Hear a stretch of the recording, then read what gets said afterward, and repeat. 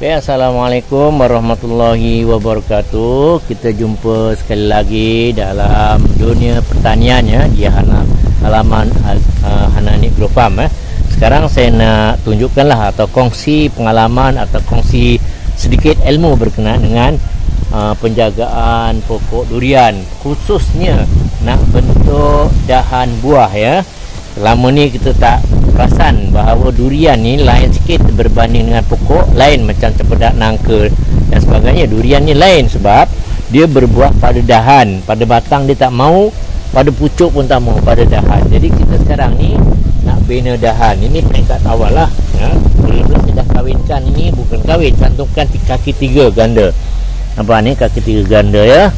Supaya dinamakan tiga pinggan. Ini kemari cantum sini hmm, ni sampai sini. Ha, ini hidup ganda tiga kaki ganda. Baik sekarang ni saya nak plan dia pokok durian ni ketinggiannya lebih kurang 8 kaki saja. Okey 8 kaki. Jadi sekarang kita mula memilih uh, apa ni dahan buah. Untuk kita bina dahan buah akan besar dahan buah. Baik sekarang macam ni ya. Ni tengok ini adalah dahan buah akan jadi akan jadi dahan buah. Tapi sekarang ni masih dipanggil sebagai cabang atau ranting kecil bila nanti dah matang akan jadi dahan buah dia akan melentur ke bawah besar dia akan keluar buah di sini. Jadi kita daripada ranting kecil kita pilih mana yang akan menjadi dia akan akan menjadi dahan buah. Contoh di sini ya. Ini agak-agak kita lah paras lebih kurang dalam tiga kaki paras tanah. Kalau bawah bawah tu mungkin rendah sangat lah buahnya ya sayang. Tapi kalau tiga ni paras pusat kita ngam lah ha, dang eh. Yang ini kita kira dahan buah ya ketinggian lebih kurang 10 kaki saja ataupun 9 kaki. Okey? Ini okey dahan buah kita kira. 1 2 3 4 5 6 7 8 9 10 11 12 13 dan 14 cukuplah. Ketinggiannya sekarang 8 kaki.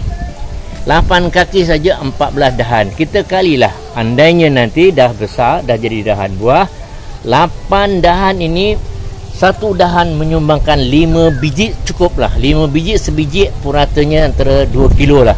Ha. kalau 5 biji ni 10 kilo 10 kilo 10 kilo 10 kilo 10 dan sebagainya. Kita mampu benda ni akan menampung ya. Okey, sekarang ni dekat sini. Bila dah jadi macam ni jadi dahan yang kecil macam ni kita kena buang supaya dia tak makan zat. Ni kalau dibiarkan dia akan besar dia akan lambat besar. Jadi kita potong ya Ha, jadi nanti dia punya makanan kemari terus. Pucuk dah kita potong, jadi sampai pucuk dia akan mengalirkan makanan dia ke dahan untuk minum dahan buah. Ini kita kena buang, kalau tidak dia leka nanti. Nampak ni tunas kecil ni, ni ni. Ini makan baja kita buang ya, buang supaya baja ni akan membesarkan. Nanti bila dah dewasa, contohnya 4 tahun, dia akan besar, dia akan melendut macam ni. Melendut besar, ha, ni dah mulalah akan mengeluarkan buah. Ha, ni dikata istilah membina dahan buah. Yang ini tak apa tak buang sebab ini pun akan menyumbang dahan buah nanti akan macam ni. Ini akan tunduk. Jadi ini satu lagi. Ini tadi lima kan. Contoh sini ada empat atau tiga biji. Dah cukup lah.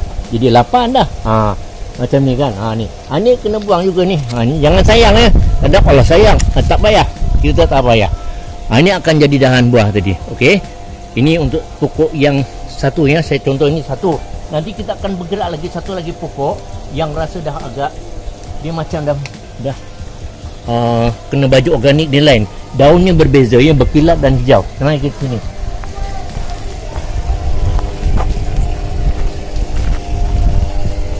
Ha ini dia. Tengok ya. Ha ni dahan buah. Tengok. Nah semua ni dahan ni ni saya akan buang. Kalau tidak semua ni akan keluar ni. Mata tunah-tunah tepi ni kalau keluar rugi ya. Sebab dia ni akan makan baja. Baja bila dia dah tarik di sini dia tak akan pergi ke sana tak nak besarkan pokok ni. Nampak bila kita buang nanti dia akan membesarkan batang ini. Tengok sekarang ni bila kita kena baja siraman dengan baja organik bawah tanah tadi tanah tengok ya keluar belaka semua pucuk-pucuk muda yang cukup sehat tengok dia ni ha. warnanya pun kita dah tahu. Ha, tengok tengok. Ni kesan-kesannya bila tengok kalau ni semua saya buang sebab saya nak bina dahan. Ni tengok ini semua tempat tunah ni saya buang. Ni ni. Ha, ni keluar tunah. Inilah yang orang kata tak perasan. Dia makan banyak baja. Ha, ni akan jadi dahan buah. Tengok di atas tu yang saya tak sempat buang. Kan tengok dia melambatkan pembesaran nanti sebab tu. Kita buang tinggal ujung hujung macam ni akan jadi dahan buah ni. Tengok semua pucuk baru keluar. Tengok ha? inilah yang saya katakan kesan baja organik ya organik yang amat penting sekali. 80% kita kena guna baja organik. Yang 20% baru baja NPK biasa. Oh baja organik. Contoh baja organik yang kita dapat ialah contoh tayi ayam pellet. Kalau kita nak steady lagi kita belilah yang import ya. Daripada Jepun tu 888 plus 3 mg magnesium dan plus TE ha, itu organik memang. Saya memang guna itu bawah tengok hitam ya ha, nampak ni baja ni? Ha, kan tanahnya hitam. Ha, ni yang kata pokoknya pun sehat. Tengok daunnya berkilat ha, tengok. Dia lain memang berbeza. Ha, ini yang dijangka. Ini tanam biji ya bukan tanam kahwin. Ini tanam biji. Ni jangkaan kalau tanam biji puluhan tahun ataupun belasan tahun ya. Tapi kalau macam inilah targetnya insyaallah lah. Bawah tujuh tahun dia akan keluar buah ha bawah tujuh tahun dia akan keluar buah. Umur berapa ni? Ini ini rasanya baru setahun lebih lah dekat dua tahun lah. Dua tahun. Ha, jadi inilah perkongsiannya cara nak bina dahannya. Kalau tak ada kita rujuk balik pada kita minta telegram ha, uh, untuk melihat apa apakah dia punya persoalan-persoalan yang akan timbul lah berkenaan dengan cara membina dahan buah. Ini nampak ya dahannya? 1 2 3 4 5 6 7 8 9 10 11 12 13 14 15 16 20 21 22 25 cukup tinggi dia. Lebih kurang 9 kaki. Ha nanti cantik comel ya macam bonsai. Gemuk pendek tapi buah nanti mudah-mudahan dah berhasil lah ya. Kita kongsilah nanti andainya panjang umur rezeki kita sama-sama kongsi. Ha, itu sajalah setakat ni lah perkongsian saya berkenaan pokok durian penjagaannya baja dan juga pembinaan dahan buah. Ok sekian terima kasih